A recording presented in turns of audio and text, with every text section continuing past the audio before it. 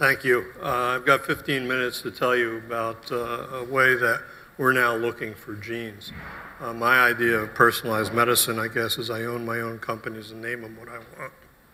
Uh, complex disease genetics, uh, other than cancer, uh, have been widely used, and people have used things like GWAS and a number of other things, and every week you read another 10, 15, 20 candidate genes that might be related based on the statistical analysis of, in this case, a million SNPs across a genome where only three or four of those SNPs would give you any information about anything in any particular reason.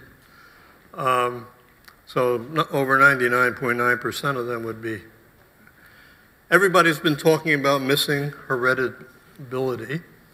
Uh, and uh, we're going to talk, I'm going to tell you about structural DNA length polymorphisms uh, which are in introns and located outside of the exome that can cause functional changes by affecting the variants around the mean of that gene. Uh, Shen et al. have illustrated several examples in experimental organisms. It isn't anything uh, that's uh, unique to humans, uh, but I'm going to give you some multiple examples in neurologic and non-neurologic complex diseases. Uh, so we described the method to identify highly informative polymorphisms uh, with a more complexity than a SNP. Uh, our work in Alzheimer's disease allowed us to look at this poly-T, which is highly, highly variable at a single locus. And therefore, it became informative. What do I mean by informative? Well, you all have an ABO blood type. Uh, but none of you are going to get a blood transfusion without having somebody look at it. It, it gives you the variance that's important for uh, certain phenotypic uh, interventions. Oops, let me see. Uh, so one of the things that simple definitions for missing hereditability is that you don't see it if you don't measure it. And what hasn't been measured is the informativeness of multiple structural DNA polymorphisms that exist across the genome. Uh, I'm going to walk you through part of this uh, with respect to Alzheimer's to make the definition clear, and then I'm going to show you another example. In Alzheimer's disease, what we did is we took this region, uh, which was in the middle of the linkage disequilibrium region that had several genes, ApoE, TOMM40, ApoC2, uh, ApoC1. And uh, we did deep sequencing of uh, approximately 100 uh, patients and controls. Uh, and then we looked at this, this region. We found four uh, regions in those square boxes where there were poly T elements, and the straight lines are SNPs. So in the middle of this piece of linkage disequilibrium, there's a lot of SNPs, and there's a lot of other uh, uh, things that can give you information. This is what the, uh, the at this individual locus, uh, I'm called 523 locus, uh, the polymorphisms evolved independently over time on different genetic backgrounds, but each individual that was used in this experiment has two haplotypes someplace on the map. All the APO, we went to this one rather than any place else on the genome uh, or in that linkage disequilibrium region because we found that all the ApoE4 patients that we had uh, were localized in clade A. Uh, none were localized in clade B. What we found was that in this clade, and you'll notice that uh, where, where, the SNPs are there, you see these nice clean lines for different clades, and then you see these little things that look like piles of pancakes. Each one of those lines there is the number, uh, an additional person who has that exact genotype or that exact sequence. And so, uh, let's see, I don't know. If you uh, look at this, uh, picture in, in uh, clade B, all of those different subclades that are identified by these different uh, are all of the short variety and they all happen to be linked to ApoE3. The other thing that's linked to ApoE3 is a very long variety, and they're all up in the top.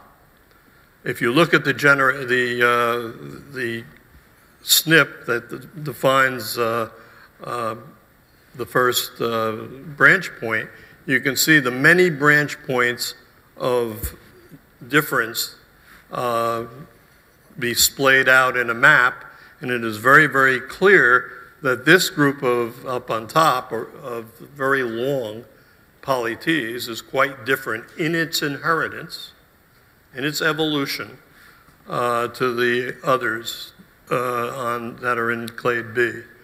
ApoE4 is in these two, as well as this one with a slightly, and these are we call long.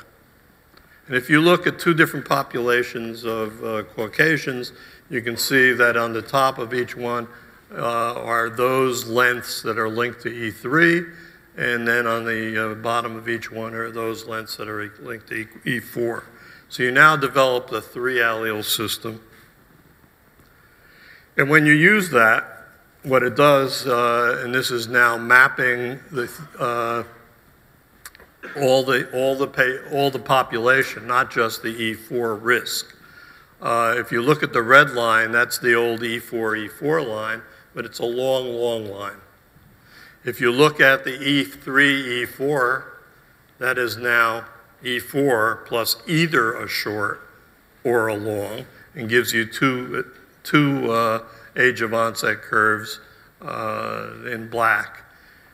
3-3, which represents 60% of the Caucasian population, was totally indistinguishable before, but now you can see the short, short, which is the first line, uh, earliest line, the short, very long, or then the very long, very long. Uh, so for an N of one, uh, which one would you want to have? if this is the risk for Alzheimer's disease as you grow older. Yeah. So we're using this kind of information for a drug trial. It's called the TOMMorrow Study, T-O-M-M, spelling tomorrow. Uh, and uh, Takeda Pharmaceuticals is the IND sponsor. And we're using this to pick out people who are at the greatest risk of developing uh, the uh, beginning symptoms of mild cognitive impairment of the Alzheimer's type uh, at different ages that you can see where the downward spiral uh, starts. And we're simply classifying them between the ages of 65 and 83 based on their age that they are at and their genotype, whether they are at high risk or low risk of getting the onset of symptoms within the next five years. And that's an algorithm that you can read about that's been published. And this is the trial. Uh, the high risk group gets put in, they get randomized to a placebo or a treatment. In this case, it's low dose rosi- or uh, pioglitazone. And the low dose are put in there so that we could have diagnostic uh, numbers when, as, when you're evaluating it as a diagnostic. Uh, and this then is to look at the effect of that drug slowing down the progression of the high risk lines. And that's going to be a five years, approximately a five year study. Okay, so one of the things this taught me was that uh, we can get very, very high informativity, informativeness at a single locus in a region of linkage disequilibrium that allows us to separate out and splay out on a map people whose individual haplotypes we can identify. So each DNA polymorphism of these uh, structural DNA polymorphisms, you know, has a location on the genome. And there are over a million of them of various types. Uh, we've put together a library of, of most of them. Uh, the structural mutations re represent the variants in not understood areas of the genome, i.e., they're in introns or they're in the junk DNA. These, this isn't the triplet repeat that knocks into a, uh, uh, an exon. And so the first step is very, very simple. In silico, we take the known location of every gene that we consider a, a, uh, a risk gene uh, for a, a candidate gene, and we take the library of these poly uh, A, poly T, poly uh, dinucleotide uh, molecules, and we just ask which of our candidate genes are nearby one of these, and then we look at what we get at the answer, and we start to then work up the genes. So this is not a step that needs to be corrected by a million tests for association. All we're doing is asking which of our genes are located at or near uh, one of these DNA mutations.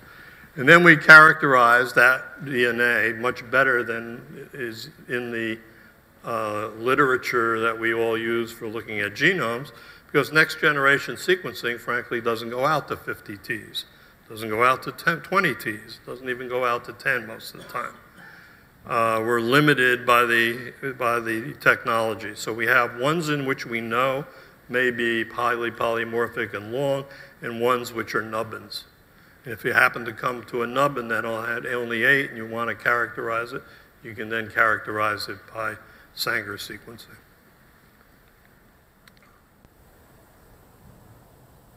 So here's an example. This is a, a real example uh, of another disease. This is uh, not uh, Alzheimer's disease. And this is the phylogenetic map that was created uh, for uh, a, a, location that is a uh, acceptor, a receptor for a particular molecule. And you can see there's some areas where there's a lot of fuzz and there's some areas aren't. And it's very difficult to look at that sort of data.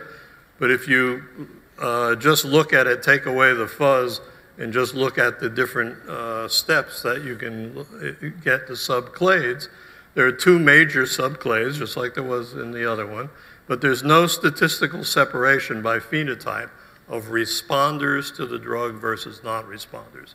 The data from this comes from five small phase two trials uh, put together to look for those people who had a quantitative improvement to be called efficacy using what uh, in this disease would be acceptable for endpoints by the FDA.